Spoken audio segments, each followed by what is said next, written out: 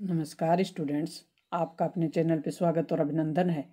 आज हम पांचवा मॉडल पेपर करने वाले हैं, अपने सामाजिक विज्ञान का। उसमें आपका समय ढाई घंटा होगा और जो पूर्णांक होंगे, वो आपके अस्सी मार्क्स अस्सी मार्क्स का अपना पेपर आने वाला है। परीक्षार्थियों के लिए कुछ निर्देश दिए हुए होंगे। इस तरीके से हम, क्योंकि चार मॉडल पेपर पहले हल कर चुके हैं तो इसमें निर्देश पर अपन नहीं पढ़ेंगे। सीधे अपन प्रश्नों की ओर चलेंगे ताकि अपने समय का सदुपयोग हमें कर सकें। खंड अपना अ होगा, जिसमें इस तरीके के वस्तुनिष्ठ प्रश्न आएँगे। पहले तो नीचे दिए गए प्रश्नों में से सही विकल्प का चयन करें। आप आराम से पेपर को पढ़ें, फिर उसमें से जो प्रश्न है उसको पढ़ें। भारतीय इतिहास के प्रमुख स्रोत क्या हैं? सरकारी दस्तावेज़ भी हैं, अखबारों की रिपोर्ट भी हैं, यात्रियों के सहस्मरण भी हैं। तो प्रयुक्त सभी हमारा आंसर हो जाए नेक्स्ट है, जोधपुर के उत्तराधिकारी संघर्ष में।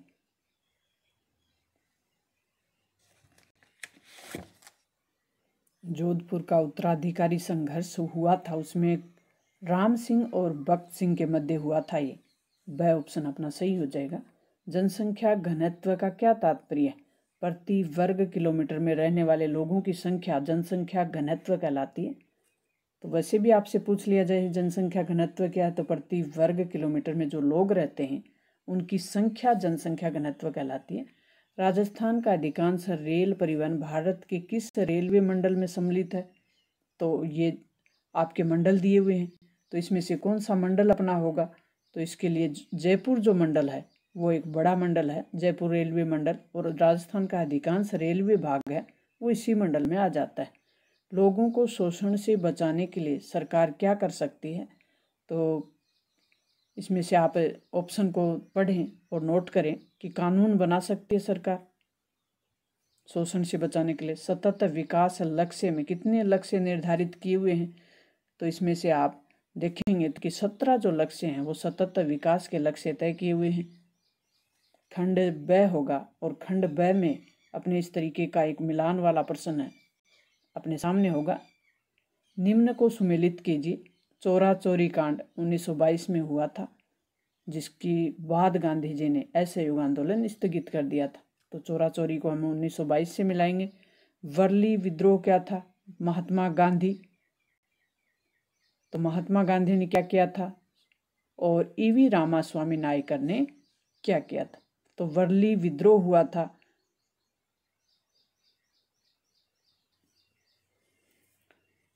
वर्ली विद्रोह को हम महाराष्ट्र से मिलाएँगे, क्योंकि महाराष्ट्र में हुआ था महात्मा गांधी अंग्रेज़ी शिक्षा के विरुद्ध थे और ई वी रामास्वामी नायकर ने स्वाभिमान आंदोलन चलाया था।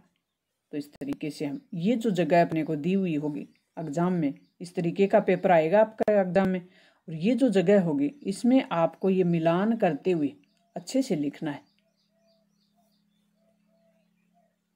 संविधान उन आदर्शों को सूत्रबद्ध करता है, यानी उन संविधान में वो आदर्श शामिल होते हैं, जिनके आधार पर नागरिक अपने देश को अपनी इच्छा और सपनों के अनुसार रचते हैं या चलाते हैं। नगर निगम का अध्यक्ष महापौर कहलाता है तो न, किसका अध्यक्ष महापौर कहलाता है? नगर निगम का। कभी कभी प्राकृतिक पदार्थ तब संसाधन बन जाते हैं जब उनका मूल रूप बदल दिया जाता है। प्रौद्योगिकी की एक मानव निर्मित संसाधन है। प्रौद्योगिकी यानी तकनीक। तकनीक को किसने बनाया? मानव ने बनाया। तो मानव निर्मित संसाधन है। आदिवासियों की भाषा। नेक्स्ट अपना प्रश्न है कि आदिवासियों की भाषाओं ने बांग्ला जैसी मुख्य धारा की भारतीय भाषाओं को गहरे और तौर पे प्रभावित किया है। उसमें संथाली बोलने वालों की संख्या सबसे ज़्यादा है। जन्म और मृत्यु जनसंख्या परिवर्तन के प्राकृतिक कारण है। एक देश के जन्म दर और मृत्यु दर के बीच के अंतर को प्राकृतिक वृद्धि दर कहते हैं। खंड स होगा अपना और खंड स में आपके इस तरीके के प्रश्न होंगे। उनमें उत्तर देना है, आपको पहली इंग्लिश फैक्ट्री यानी कारखाना की स्थापना कब और कहाँ की गई थी? तो पहली जो इंग्लिश फैक्ट्री थी, उसकी स्थापना सोलह में हुगली नदी के किनारे, जो कि पश्चिमी बंगाल में है। हुगली नदी पश्चिमी बंगाल में और हुगली नदी के किनारे की गई थी पहली फैक्ट्री की स्थापना। साल कौन सी थी? सोलह सौ इक्यावन। सोग्रम संगमा द्वारा विद्रोह कब और कहाँ हुआ? तो सोग्रम संग्रम संगमा थे, उनके द्वारा विद्रोह 1906 में असम में हुआ था। प्राच्यवाद के दो घोर आलोचकों के नाम लिखने, जेम्स मील और थॉमस बेबी गटन मकाले, ये इसके विरोधी थे प्राच्यवाद के।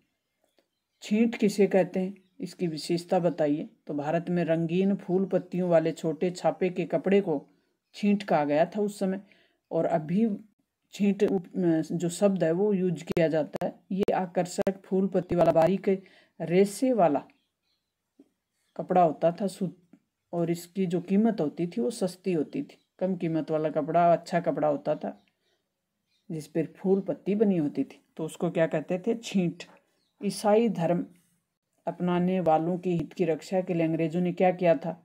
तो ऐसे भारतीय जिन्होंने ईसाई धर्म स्वीकार कर लिया था, उसके हितों की अंग्रेज़ों ने 1850 में एक नया कानून बनाया। कब बनाया? 1850 में, जिसके अनुसार उन्हें अपने पूर्वजों की जो संपत्ति थी, वो प्राप्त करने का अधिकार दिया गया था।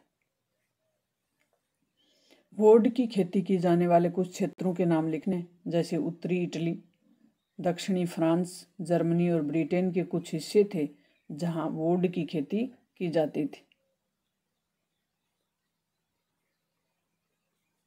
लोह और अलोह खनिज में अंतर बताना है। तो लोह और अलोह खनिज में जब अंतर, हम अंतर करेंगे तो निम्न अंतर हो जाता है इसमें। जिन खनिजों, जिन धात्विक खनिजों में लोहे की मात्रा पाई जाती है, उसे कहते हैं लोह खनिज, और लोह अयस्क इसका उदाहरण है। और रंग, इनका रंग है वो भूरा होता है और इस्पात उद्योग में इसका प्रयोग किया जाता है। खनिज धातुओं का अंश इसमें पाया जाता है। फिर हम कहें कि अगर जिस, वो वो खनिज जिसमें धातु का अंश नहीं पाया जाता एलोह धातु कहलाता है, यानी जिसमें लोह धातु की मात्रा है वो नहीं पाई जाती, उसे कहते हैं एलोह खनिज। निर्वाह कृषि और गहन कृषि में क्या अंतर है? तो निर्वाह कृषि जीवन निर्वाह के लिए फ़सलों का उत्पादन करना जीवन निर्वाह वाली कृषि में आता है। जीवन निर्वाह वाली कृषि यानी सिर्फ़ जीवन निर्वाह, जीवन में खाने के लिए जो फ़सल है वो हो जाए, सिर्फ़ जीवन निर्वाह के लिए उत्पादन किया जाता है। अधिकांश कार्य हाथों से ही कर लिए जाते हैं, परंपरागत तरीके से कर लिए जाते हैं। पूंजी की आवश्यकता भी इसमें कम होती है, तकनीक का उपयोग भी इसमें कम होता है। गहन कृषि की जब बात करें तो अधिकांश कार्य मशीनों द्वारा है पूंजी और श्रम की इसमें कमी होती है। उच्च तकनीक का प्रयोग होता है और इसमें कई फ़सलें बोई जाती हैं। इसमें कई प्रकार की फ़सलें बोई जाती हैं तथा तो उत्पादन है वो भी अधिक होता है। आकार के आधार पर उद्योगों का वर्गीकरण करें। तो आकार के आधार पर जब उद्योगों का वर्गीकरण करेंगे तो जैसे लघु उद्योग है, वृद्ध उद्योग है तो लघु उद्योग में पूंजी की आवश्यकता कम होगी श्रमिक भी कम लगेंगे। उत्पादन की मात्रा भी इसमें कम होगी और तकनीक का प्रयोग भी कम ही किया जाएगा। बड़े उद्योगों की बात करें हाँ लघु उद्योगों की पहले उदाहरण दे, देख लेते हैं जैसे रेशम बुनना खाद्य प्रसंस्करण करना ये उदाहरण दे सकते हैं दो। रेशम की बुनाई और खाद्य प्रसंस्करण बड़े उद्योगों की बात करें इन उद्योगों में अधिक पूंजी लगेगी अधिक श्रमिक लगेंगे तकनीक की आवश्यकता भी अधिक होगी और उत्पादन भी बड़ी मात्रा में होगा। जैसे इस्पात उद्योग, ऑटोमोबाइल उद्योग आदि। राजस्थान में चलने वाली स्वास्थ्य संबंधी दो योजनाएँ उनका नाम लिखना जैसे आशा सहयोगिनी स्वास्थ्य के क्षेत्र में चल रही है और मुख्यमंत्री निशुल्क दवा एवं जाँच योजना, महत्वपूर्ण योजना। राजस्थान सरकार द्वारा बुनकरों को किस रूप में सहायता की जाती है? तो राजस्थान सरकार बुनकरों की सहायता के लिए बिक्री कर में छूट दे देती है। और बिक्री केंद्रों की स्थापना करके भी उनकी सहायता करती है। ब्याज अनुदान, यानी सस्ती दर पे ब्याज देना ऋण देना और उनमें अनुदान दे देना। राजस्थान की चित्रकला की किन्हीं दो, तीन शैलियों के नाम लिखने तो जयपुर शैली, किशनगढ़ शैली और कोटा शैली, तीन शैलियाँ। राजस्थान के मैदानी भागों में जनसंख्या घनत्व अधिक क्यों है? क्या कारण है कि राजस्थान में मैदानी भागों में जनसंख्या घनत्व अधिक है, यानी लोग ज़्यादा रह, रहना पसंद करते हैं। तो ऐसा है, कारण है कि मैदानी भागों में अनुकूल परिस्थितियाँ होती हैं लोगों के रहने के लिए। जैसे समतल मैदान होगा, वहाँ पानी की उपलब्धता भी होती है, उपजाऊ ज़मीन होती है, परिवहन के भी अच्छे साधन होते हैं, उद्योगों की भी सुगमता रहती है, रोज़गार के भी साधन होते हैं, और देश की राजधानी का भी नज़दीक होना, ये प्रमुख कारण है। एक ही धर्म के भीतर अलग अलग दृष्टिकोण के दो उदाहरण कौन से होंगे? तो एक ही धर्म के लोगों के मध्य अलग अलग दृष्टिकोण होना, जैसे कुछ लोग जाति प्रथा का विरोध करते हैं तो कुछ उसका समर्थन करते हैं। कुछ महिला शिक्षा का समर्थन करते हैं तो कुछ उसका विरोध करते हैं। एक ही धर्म के अंदर दो दृष्टिकोण हो गए। न्यायपालिका के कार्य। इसमें दो धर्मों की बात कर सकते हैं आप, जैसे हिंदू धर्म के कुछ लोग जाति प्रथा का विरोध करेंगे तो कुछ उसका समर्थन कर देंगे। मुस्लिम धर्म में कुछ लोग शिक्षा, महिला शिक्षा का समर्थन कर देंगे तो कुछ उसका विरोध कर देंगे। तो आप दो धर्मों का दृष्टिकोण आप दे सकते हैं। न्यायपालिका के कार्य संक्षेप में बताने तो विवादों का निपटारा करना न्यायपालिका का कार्य है और न्यायिक समीक्षा करना और कानून की रक्षा करना, मौलिक अधिकारों की रक्षा करना, ये भी न्यायपालिका के कार्य हैं। सर्वोच्च न्यायालय ने सुभाष कुमार बनाम बिहार राज्य, जो कि मुकदमा उन्नीस सौ इक्यानवे का है, में क्या निर्णय दिया था? तो इस मुकदमे में सर्वोच्च न्यायालय ने निर्णय दिया कि अनुच्छेद इक्कीस के तहत जीवन के मौलिक अधिकार में प्रदूषण मुक्त हवा हवा शुद्ध हो, उसमें प्रदूषण ना हो, पानी का अधिकार, ये दो अधिकार तय कर दिए गए थे कि ये जीवन जीने के लिए व्यक्ति के लिए आवश्यक है। इसलिए ये जो अधिकार हैं, ये मौलिक अधिकार है। जन सुविधाएँ मुहैया कराने की ज़िम्मेदारी सरकार की ही क्यों होनी चाहिए? जन सुविधाएँ मुहैया कराने की ज़िम्मेदारी सरकार की होनी चाहिए क्योंकि सरकार ही उन्हें सस्ती दर पे और समतामूलक ढंग से उपलब्ध करा सकती है जन सुविधाएँ अलोकप्रिय कानून कौन से होते हैं? लोकप्रिय जो कानून होते हैं वे कानून जो लोगों को पसंद ना हो तथा सरकार की नीयत भी उनको बनाते समय साफ़ न हो तो लोग उनकी आलोचना करते हैं और इस प्रकार के कानून अलोकप्रिय कानून कहलाते राज्यसभा के प्रमुख कार्य लिखें तो राज्यसभा कानून बनाने का प्रस्ताव रख सकती है, राज्यसभा लोकसभा द्वारा पारित कानूनों की समीक्षा कर सकती है और उसमें संशोधन भी कर सकती है। तो ये राज्यसभा के कार्य हैं। मानचित्र में हम भरेंगे, जैसे उदयपुर, भरतपुर और बीकानेर। बीकानेर, ये यहाँ पे है। ये बीकानेर है। भरतपुर राजस्थान का सबसे पूर्वी जिला। धौलपुर के पास भरतपुर है। उदयपुर, ये भरा हुआ है। ये उदयपुर है। राजस्थान में अठारह सौ सत्तावन की क्रांति के किन्हीं तीन कारणों का विवेचन कीजिए और अथवा में है अठारह सौ सत्तावन की क्रांति के असफलता के प्रमुख कारण। तो इसमें हम अठारह सौ सत्तावन की क्रांति हुई क्यों? उसके कारण देखेंगे। फिर क्रांति तो हुई, लेकिन असफल क्यों हो गई? ये भी देखेंगे। तो राजस्थान के अठारह सौ सत्तावन की क्रांति होने का प्रमुख कारण था, वो था ब्रिटिश कंपनी का राज्यों के आंतरिक मामलों में हस्तक्षेप करना। कंपनी ब्रिटिश कंपनी थी, वो राजाओं का जो शासन था, उसके आंतरिक मामलों में हस्तक्षेप कर रही थी। ब्रिटिश कंपनी का राज्यों के आर्थिक मामलों में भी हस्तक्षेप किया जा रहा था। समा, समांत की हालत, सामंत जो लोग थे, उनकी हालत भी खराब हो गई थी, क्योंकि सामंत लोगों का मानना था कि उनकी जो ये हालत हुई है, वो ब्रिटिश कंपनी के कारण हुई है।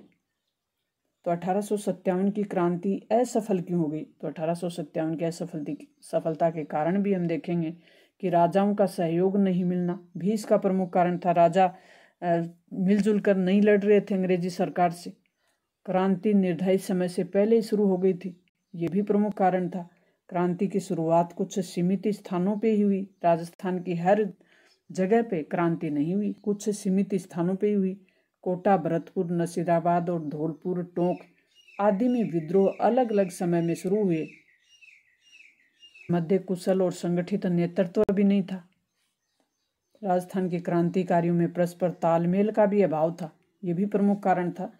क्रांतिकारियों के पास साधन भी नहीं थे। जैसे अंग्रेज़ी सरकार के पास साधन थे, वैसे क्रांतिकारियों के पास साधन नहीं थे। तब मारवाड़, मेवाड़ और जयपुर आदि के शासकों ने तांता टोपे, जो कि भारत के एक प्रमुख क्रांतिकारी थे, उनका किसी प्रकार से सहयोग नहीं किया था। नेक्स्ट प्रश्न है, सर्वोच्च न्यायालय ने किसी भी व्यक्ति की गिरफ्तारी, हिरासत और पूछताछ के बारे में पुलिस को क्या दिशा निर्देश दिए, ये बताना है। तो सर्वोच्च न्यायालय द्वारा पुलिस को जाँच के लिए दिए गए निर्देशों में डीडी बसु दिशा निर्देश भी इसको कहा जाता है। कौन से निर्देश? डीडी बसु। इसमें प्रमुख रूप से बताए गए हैं कि गिरफ्तारी की गिरफ्तारी की जाँच करने वाले पुलिस अधिकारी को पोशाक का ध्यान रखना है। उसकी पहचान होनी स्पष्ट होनी चाहिए। उसकी नाम पट्टी होनी चाहिए। पद स्पष्ट होना चाहिए। सटीक रूप से अंकित होना चाहिए कि वो किस पद का अधिकारी है, जो जाँच कर रहा है, जो गिरफ़्तार जिसने किया है। गिरफ्तारी के समय रेस्ट मेमो होता है, उसकी पूरी जानकारी होनी चाहिए। गिरफ़्तार अरेस्ट का जो भी मेमो होता है, यानी जो भी उसके नियम होते हैं, उसका पूरा पालन होना चाहिए। गिरफ़्तार किए गए व्यक्ति को अपने किसी संबंधी या दोस्त या परिचित को जानकारी देने का भी पूरा मौका उसको दिया जाना चाहिए, कि वह अपने रिश्तेदार को, अपने अपने किसी भी निजी दोस्त परिवार में जानकारी दे सके। गिरफ़्तार व्यक्ति को समय स्थान और हिरासत के बारे में पूरी जानकारी दी जानी चाहिए। यूँ नहीं कि किसी गुप्त स्थान पर रखा जाए उसके बारे में उसे जानकारी दी जानी चाहिए।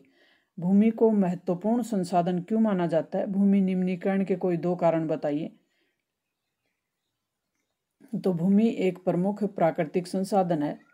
अधिकांश उत्पादन तो आर्थिक क्रियाएँ भूमि पे ही होती हैं। भूमि का उपयोग विभिन्न सर, सरकार कार्यों के लिए करती है, जैसे कृषि करना, वा, वानिकी करना, खनन करना, आवास यानी रहने के लिए जग, मकान बनाना, निर्माण करना, आवास का निर्माण करना, सड़क निर्माण करना, उद्योग लगाना आदि ज़मीन पे ही होते हैं, यानी भूमि पे ही होते हैं। तो भूमि लोगों के जीवन के लिए आजीविका का सबसे महत्वपूर्ण प्राकृतिक संसाधन है। भूमि निम्नीकरण के प्रमुख कारण कौन से भूमि निम्नीकरण किसे कहते हैं? यदि भूमि की गुणवत्ता में कमी हो जाए, भूमि के उपजाऊपन में कमी हो जाए तो उसे कहते हैं भूमि निम्नीकरण। तो उसके प्रमुख कारण कौन से हैं? तो कृषि संबंधी गतिविधियाँ उसका प्रमुख कारण है। निर्माण संबंधी, खनिज, खनन संबंधी ये गतिविधियाँ होती हैं, जिसके कारण भूमि का निम्नीकरण होता है। मृदा अपर्दन संबंधी कार्य। भारत के विभिन्न भागों में असहयोग आंदोलन ने किस किस तरह के रूप ग्रहण किए? लोग गांधी जी के बारे में क्या समझते थे? तो असहयोग आंदोलन की बात हो रही है, जो जनवरी 1921 में शुरू हुआ था। गांधी जी के असहयोग आंदोलन के आह्वान करने पर लोगों ने अपने हिसाब से अर्थ निकाला। अतः देश के विभिन्न भागों में असहयोग आंदोलन ने भी अलग अलग ही रूप ग्रहण किया। खेड़ा गुजरात के किसानों ने अंग्रेज़ों की ऊँची भू राजस्व मांग को, के विरुद्ध अहिंसक तरीके से आंदोलन चलाया था। वहीं आंध्र प्रदेश तथा तमिलनाडु के भीतर के जो भाग थे, उनमें शराब की दुकानों के विरुद्ध आंदोलन चल रहा था। आंध्र प्रदेश के गंटूर ज़िले में आदिवासियों ने वन सत्याग्रह किया था। सिंध और बंगाल के में खिलाफत असहयोग गठबंधन ने राष्ट्रीय आंदोलन को मजबूती प्रदान की थी। असम के चाय बागानों में मजदूर आंदोलन कर रहे थे तो उनका तरीका था वो अलग था। इस तरीके से गांधी जी ने जो आंदोलन शुरू हुआ उसका अलग अलग रूप था। तो यह अति महत्वपूर्ण प्रश्न का अपना ये मॉडल पेपर था। पांचवा मॉडल पेपर इसमें पाँच मॉडल पेपर आपको करवाए जा चुके हैं। मिलते हैं नेक्स्ट और महत्वपूर्ण टॉपिक के साथ। तब तक थैंक्स